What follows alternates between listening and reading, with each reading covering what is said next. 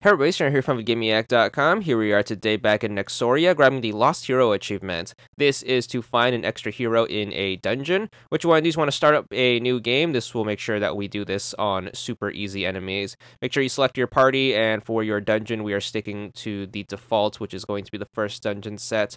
First thing you want to do is you want to make sure you try to kill off one of your party members. The easiest way to do this is to just walk back and forth on the first two empty tiles.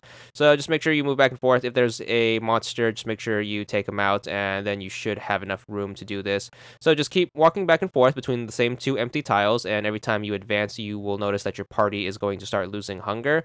So all you have to do basically is keep an eye on everyone's hunger meter.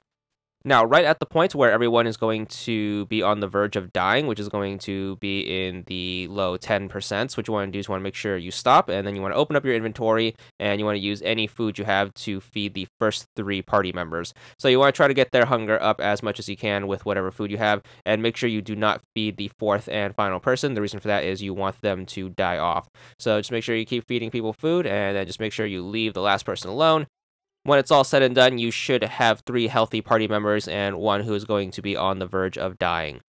Once that's established, what you want to do is you want to continue our strategy of walking back and forth between the two empty tiles. Eventually, your fourth character is going to starve to death, which is going to leave us with three party members and an empty slot, and then the rest of the achievement is going to come down to chance. So what you have to do is you have to make sure you just keep walking through the dungeon, and you should have a random chance of finding a sarcophagus. Make sure you open it if you find it, and inside will be your new hero. Once you manage to pull that off, you should be good for the achievement. 80 gamer score, and that's all there is to it.